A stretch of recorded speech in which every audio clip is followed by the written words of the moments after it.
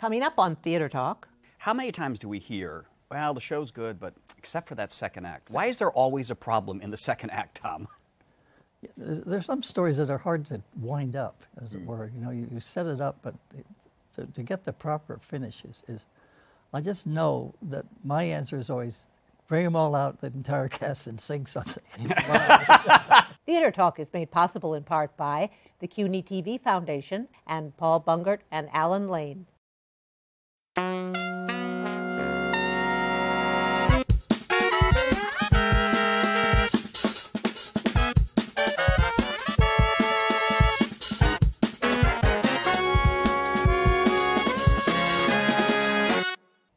New York City, this is Theater Talk. I'm Susan Haskins. And I'm Michael Riedel of the New York Post. Uh, Susan, there is a new um, collection of the great books to Broadway musicals. Yes, it's out a by- box set. Put out by the Library of America. Uh, it is edited by our friend uh, Laurence Larry Maslon, who joins us tonight on Theater Talk to talk about the great books to the Broadway musicals. Welcome. and lyrics. And we brought a couple of uh, experts on the subject uh, to join Larry. Uh, experts on the subject of writing books to musicals. We are joined by my good friend Richard Maltby Jr., who wrote uh, Miss Saigon, Closer Than Ever, one of my favorites, Big, and Baby. That's a, true. A neglected classic, Baby, I must say. Yes. Let us not leave it neglected longer. And, and lyrics to so many more. oh, yeah. And our other good friend Tom Meehan, who wrote the books to Annie and the Producers and Hairspray, and Ain't Broadway Grand, which I also think is a neglected classic, Tom. Well, we're bringing it back next season I can't wait. All right, Larry, since with the. Bradley Cooper. You'll do very well, I think. Um, now, Larry, do I take your point here that since you've collected the books to musicals, the scripts to the musicals, under the umbrella of the American, the Library of America, are you making the case that these scripts, these books to our great Broadway musicals, are part of the great American literature?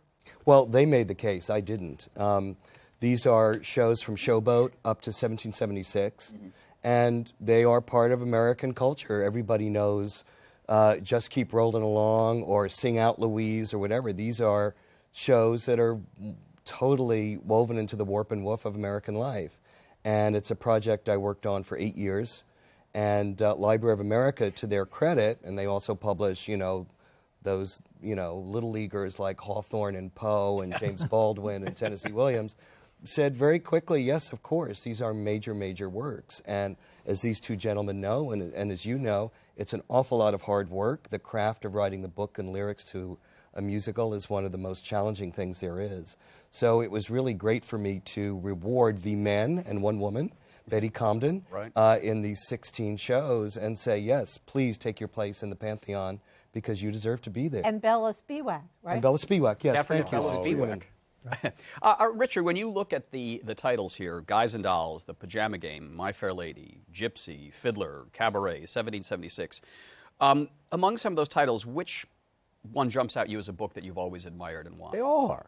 They all are. Ev- Every one of them. It is uh, the. I mean, you're quite right. These are the the icons of musical theater, and and as time has gone on, they have become more and more important. They are they are like Peter Pan. They're like they're part of our mythology. They we know the lines, we know the dialogue, we know the, the lyrics, we know the moments from them. And what's really interesting about the struc- about this this collection is that you can really see the structure and you can really see what makes them so significant. Right. They all share one really really stunning quality, and that is they're brilliantly structured.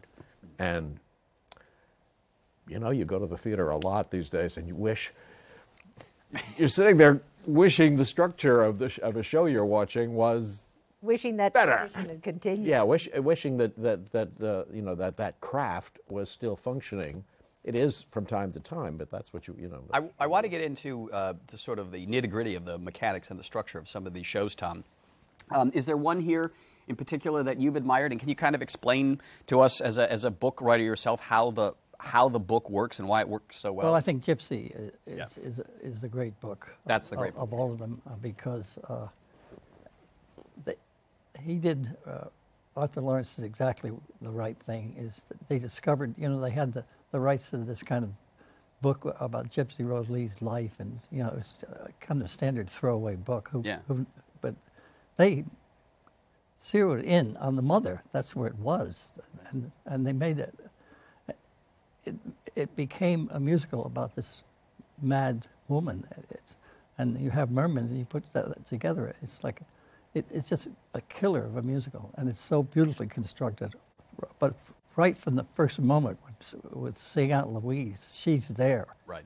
And you have a major character with a big problem who you follow through for the whole show. Bigger than life character. I always think that's what makes mu- big musicals work. One of the things I notice in, in, in these shows is that they most of them have a central character who's just a dynamic driving force. And I see a, a lot of musicals today where the lead characters tend to be passive and you feel the show sort of collapsing around. Yeah. Do you have a sense that that's one of the things that makes these books work? Um, I, I think that changed a little bit over time. I think as you look in the shows in the 50s, we, you look in the 40s and you have that Rodgers and Hammerstein romantic leads, comic second leads, older figure. That template was pretty strong and stayed around through Guys and Dolls. But then it's interesting, as you say, when you get to My Fair Lady, Gypsy with Rose, Pseudolus and Funny Thing Happened on the Way to the Forum, Tevye, Fiddler on the Roof, and I guess the MC slash uh, uh, Sally Bowles in Cabaret, but John Adams in 1776. Yeah. I mean, that character is on stage the entire show, and he really drives it from beginning to end. In, in terms of structure, I'm a big fan of 1776. Wonderful, wonderful. And By Peter supposedly, when Peter Stone sold it to the movies, in you know what, nine months after it, it opened in 1969, he ran into Sondheim on the street, and he said, "Steve, great news! We've sold the film rights to 1776." And Sondheim said, "Great! Now you can fix the second act." Um, so there's no America. well, but if there was ever a show that working backwards had that a great second act, well, it was always done in one one act actually, but had a great finale. It was 1776. So that's one show that never had a second act problem because you knew where you were going to. Well, one of the things I admired about that book, and I think Peter Stone, who wrote it, also achieved it a little bit in Titanic too, was you know the ending, Yeah. Yes, but yeah. somehow he has you on the edge of your seat because you're not quite sure if they're going to sign the Declaration of Independence. It's totally true. Well, it, right up to the last minute, you can see that that the vote is going against them. Yeah, that's until right. that until the slavery vote. And the, it's one brilliant moment in the show when they when the, when the vote comes and they put all of and they put all those South votes over here. Then finally, it all comes down to the the nerd from Philadelphia from uh, Pennsylvania. There are three votes. There's there's uh, uh, the the conservative there's Ben Franklin and the one person who doesn't matter at all. and the whole thing hinges on him. And he votes for the Declaration so that he won't be the person who voted against it. And it goes over to the other side, and there's silence on the stage Yeah. because they can't believe it actually happened. It's a stunningly structured book. Yeah. The only thing about that show is some do argue that it's a play with music. I mean, Peter. We had Peter Stone on this show, and he Yeah. said he loved it so much because what did he say? There's 38 minutes before there's a song. he, he loved that. But, but, but My friend Peter uh, Hunt directed it, and, and, and it was his first show. And he called me up and said, um, How long can a book scene be in a musical? and I said, Well, I don't know, maybe three pages, and you better have a song. And he s- I said, How long is yours? He said, It's 14 pages. Well, Peter was Peter was never one for concision. Always he did. Like, Oh, right. But one thing I but it is a structurally brilliant it's scene. a great, great job. And one thing I think that, that you also look at these shows that people said, you know what, let's do Oklahoma, and you know what, there won't be a specialty dance for the comic, and there won't be a, uh, you know, we won't stop the show dead. That was actually rather revolutionary in the shows like 1776 or Gypsy that had an unattractive lead leading character, or My Fair Lady, God knows, Right. were the shows that broke out of the mold, and oddly enough, those are the ones that really stood the test of time and became eternal shows. Well, and will always be revived. I mean, My Fair Lady, as I read in your book, was was so closely modeled on Pygmalion. There were really very few changes. But mm-hmm. I always loved Gypsy the most too because I think of it as having no fat, and you go, you know, that there is there is nothing in there that isn't there needed to drive the plot. And when you get to Act Two, there's what four songs. Yeah. It's just wonderful because he doesn't.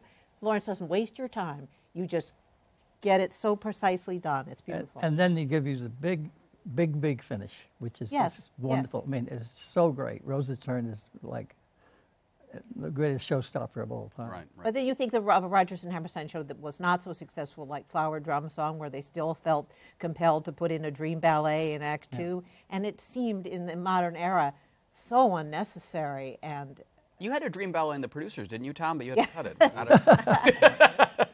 Not a- Now we're putting it back in when the revival. Well, apparently there was one in Fiddler on the Roof. There was a dream. Well, not the wonderful dream sequence was there, but there was some kind of tortured dream sequence that they. they Well, there's the, the Chavaleh Ballet, which oddly enough is one of the most beautiful pieces of music that Jerry Bock ever wrote. Really? Yeah. And it didn't make it to the cast mm-hmm. album. Yeah. But I guess it was condensed, really, because that's another thing I think deserves to be mentioned is George Abbott, Jerry Robbins, Hal Prince Oh. are also very much part of the writing and crafting of what made. I think each of them worked on four of the shows in the in the anthology, and they deserve to be acknowledged as well for, for their incredible work in shaping these shows. when you say mention the cast albums, what I like about this book is that at last you can actually read the text of, of these uh, big shows. They're very hard to find otherwise. This, Yeah, This is a real gift. Yeah.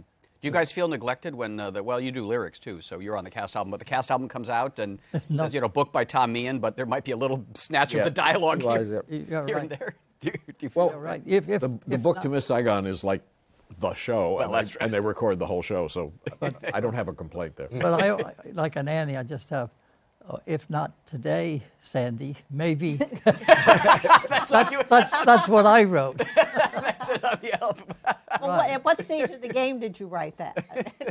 Oh, wrote, they wrote that. That's the second song they wrote. oh, right. So I, Now, I, Richard, but you plugged in your lyrics. I plugged in that great lead that made it happen. Richard, in some ways, you pioneered this sort of you you and um, um, David Shire, the.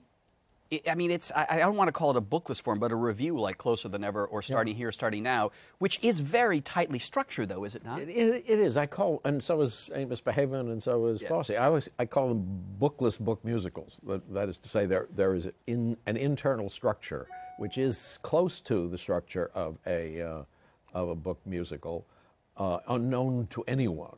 It starts you in a place, it leads you to the next place, and uh, it's never spelled out. I trust the audience gets it.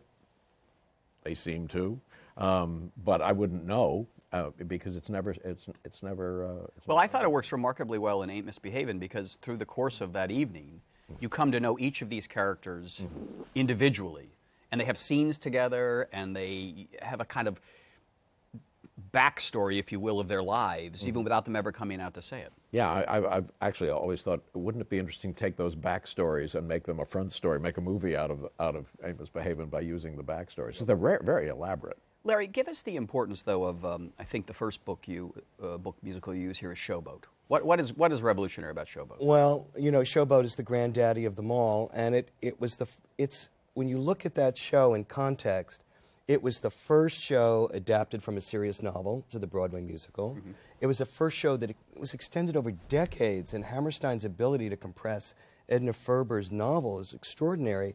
And it also had the first time where black characters and white characters, as characters, not as in a revue say, shared the stage with kind of equal integrity.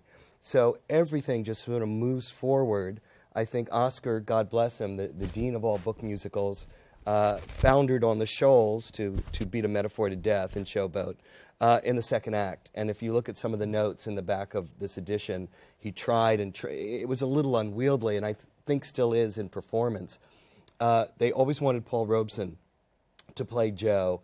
And at one point, if you look at one of the early drafts in the second act, Joe is uh, and and Queenie or are, are sit no uh, Captain Andy and, and and Queenie I think are sitting on the on the boat. It's 1927. So whatever happened to Joe? Oh well, you know he had a grandson, and that grandson grew up to be Paul Robeson. Oh, really? And here he is now singing on the concert stage. And Paul Robeson was supposed to come out and sing, you know, g- some spiritual or something in the middle of Showboat in the second act. And Oscar wisely said, maybe not the best idea. but that to say, he didn't really come up with a, that much of a better idea. But we owe so much to Showboat in terms of its dramatic integrity and what it tried to do. It said musicals didn't have to be kind of silly and frivolous and And sketches, really, collection and of sketches. sketches. But I have to say, the next show in the anthology has gotten a lot of um, people are sort of divided, which is As Thousands Cheer, Yeah. which was the 1933 revue written by Irving Berlin and Moss Hart. So you chose that one to include as a, Well, I think the revue form is so important to the history of the musical, and it gets neglected Yeah. because revues are topical. That's what makes them great. It Right. also is what makes them vulnerable historically. I think that book is, is historic because uh, I've never I've never read A Thousand Thousand. Years. I've never even seen uh, been able to read it, and the, and it's startling because the sketches are really They're good. good. They are fun. They're really good, and they Moss they would play right now. I mean, Ra- Rockefeller's birthday party where he. His children give him Rockefeller Center. it's really It's not. still and funny. he's so tight. I mean, really, that's. I mean, that's that's as good as it can get. And you're a big As Thousands Cheer fan uh, uh, too. Now, Yeah, well, I had again, uh, like Richard, I hadn't seen it, read it. Well, I, I've seen every one of these musicals several times actually. Yeah. But uh, that one I didn't know at all, and I just I was laughing away. Moss Hart's, you know, he's a funny, funny guy. That it was really brilliant stuff. Yeah, very And then well. you have Ethel Waters singing "Supper Time" in the middle of all that. Wow. well, it was What a really evening. topical Yeah. I mean, they took Yeah. on the, the not only the, the, the funny political themes, but the serious ones Yeah. as well. Yeah. And um, and sometimes they had had fun with them, and sometimes they just went there. And uh, the idea of headlines being the the uh, the, the linking device that, that that that held the show together. It's uh, which itself is a kind of a vaudevillian thing where they used to just hold up the you know the, the titles of the next scene or the next sketch coming. It was a, it was a different way of doing that, and uh, that made it topical. And uh, Chris, the other thing about about uh, Showboat is that it's it's about miscegenation. It's it's Yeah. it's about a really really uh, you know toxic. and then you come back with i mean this this book has three oscar hammerstein librettos and you come back with south pacific which Yeah. is also about the, uh, that racism and um, oh, what's the third hammerstein you have in there Uh, Oklahoma, in oklahoma of course so but, but we found a line in Oklahoma which had never been allowed to be performed, I guess, for decades. Which, when Will Parker comes back and does everything is up to date in Kansas City, so he said, "Will, that's a great, great dance move." You know, he said, "Yeah, a couple of colored guys taught it to me in Kansas City." Oh. And so Hammerstein's preoccupation with race even goes through the most seemingly benign shows.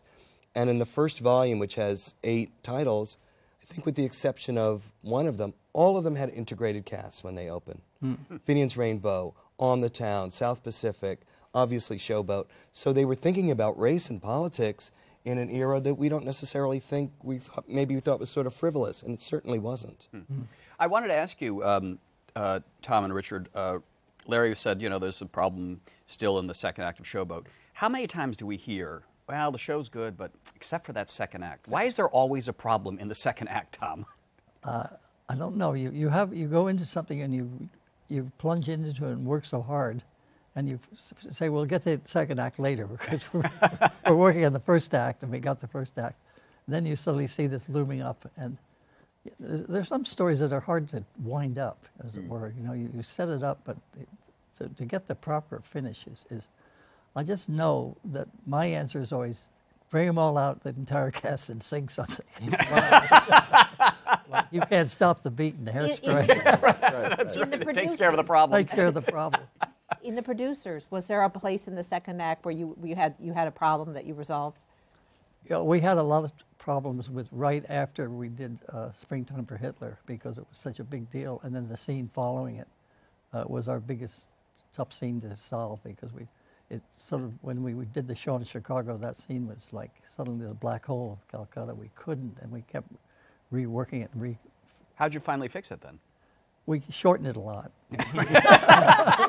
we didn't cut it entirely. We- but, you know, that was one of my ideas. You know, let's cut this whole scene. Let's move on. But we, we did a, a kind of quick, uh, short, uh, much shorter version of it. We, we had five or six good gags. We kept those and rushed Move on. right along. Moving right along, folks. I think the, the question is, is which are the second acts that work. You have to ask the, about Yes. the ones that work, and then you can pretty much answer about the ones. The ones that work are the ones that continue the, the trajectory straight through. Yeah. Whatever they sent up, they follow straight. The second act of My Fair Lady, right right, through to the end. Yep. Second act of South Pacific, second act of King and I. They're just absolutely perfectly structured. And as a sense of action, they drive, they, they follow the opening action consistently step by step through to the end, and that's part of the reason why it's satisfying. As we're taping this, we're coming off from last night. They aired the Peter Pan on NBC Live.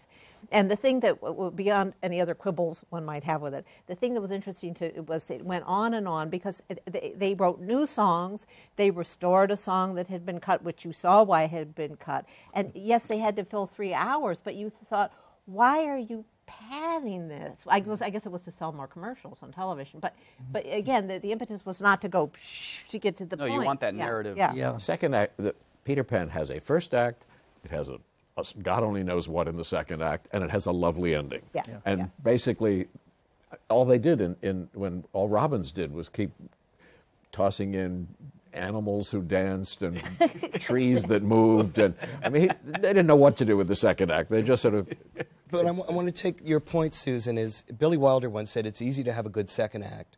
All you need is a good first act, and and uh, he wisely sold all his movies to Broadway and, and never. I don't think he even saw Promises, Promises. Who knows? But I think that's a really good point. Is I I think the good ones, especially and and I obviously include Annie in that, start with such a strong premise early on that you kind of have to, as long as the show sort of gets out of the way of the premise and doesn't put the sort of excrescence of junk, the good ones tend to work really well right out of the canon, it seems to me. One of the things I wanted to um, just touch on Annie, we think Annie is a kid's show. But in fact, I think Annie's a much more sophisticated show, a show that makes political points. And when you guys were writing it, you didn't set out to be doing a family entertainment, did We, you? we, we didn't. Uh, we wrote this in the era of uh, Richard Nixon in the White House originally, and we were thinking, we were all New Yorkers, and we were thinking about, had grown up in the Depression, and we were thinking, what, what was America like when they had a good president of the United States, uh, Richard Nixon? And uh, we, we decided to write something political, but based it on this comic strip, and Annie is, in fact, as the musical progresses, in Act Two, she becomes a metaphor. She stops being a real child and she steps up uh, in the Oval Office on the desk and sings tomorrow and creates the New Deal. I mean, Why not? Artistic. absolutely brilliant idea. Just brilliant. In the new Jamie Foxx Annie, which is Yeah, I will just have opened. Any of your lines left? I- yeah, no, none of my lines. none of your lines are over. Very, very few. Very, But as- but but, is- but the structure's the same, by the way. So, so do you get credited for as, as the book writer? Are you then credited? No, I, no, I'm just. You are on the cred- movie poster. Oh, oh yeah. I- Yeah. No, oh, I, you are. So you do. You. but I didn't. Wait, I didn't write. kiosks near you. I didn't write the script. Tom said that his, some of his words are no longer in the screenplay. Does it happen when you're writing a book and you come up with a great scene? Does the, do the composer and the lyricist sometimes steal it from you and it becomes a song and you, you lose the Speaking as the lyricist, in a heartbeat. That's that- we live for it. We just and and and actually, I, I, the the the painful lesson that any book writer of a musical comes to is that's my job. My Well- job is to write something wonderful that they can take and make into a song. Well, I say it's not called a musical for nothing. You know, it's about the music. It's about the score, and and so you write a scene, and they say, "Oh, we got an idea for a song. We'll do that." Right. But the only thing, once in a great while, I get back a song that has nothing to do with the scene. They sort of suddenly get lost their way. They wrote another song, Oh. and so they have to go back to the drawing board and figure out how I can make this song fit into this show. Or can't you just tell them they're, they're wrong and they need to co- come with a new song to you? Once in a while, I do that, but Better. Don't worry, Sandy.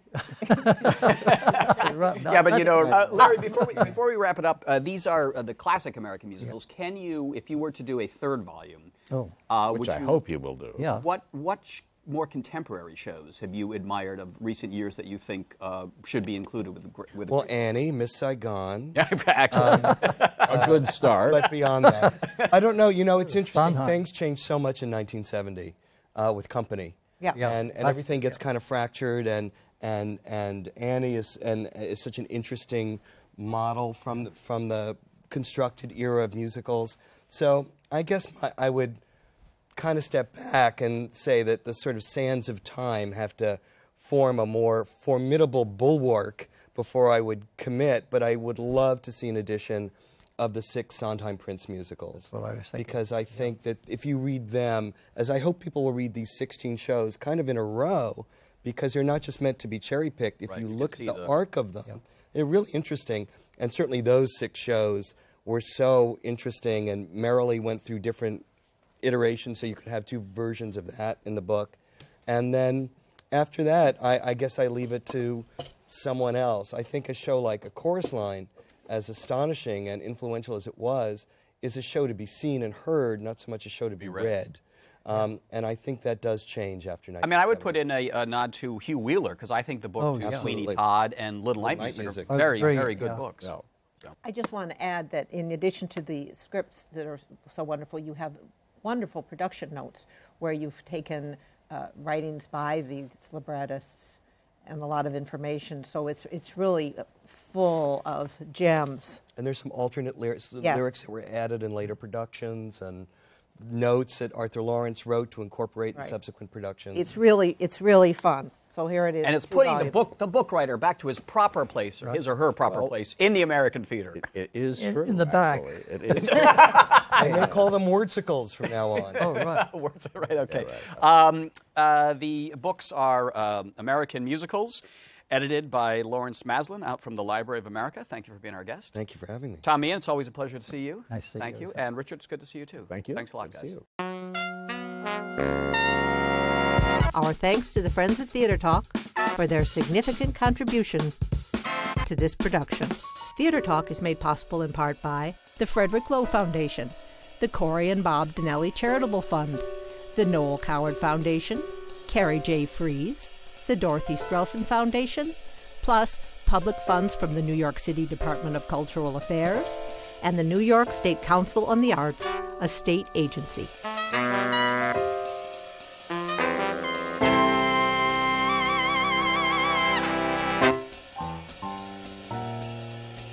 We welcome your questions or comments for Theater Talk. Thank you and good night.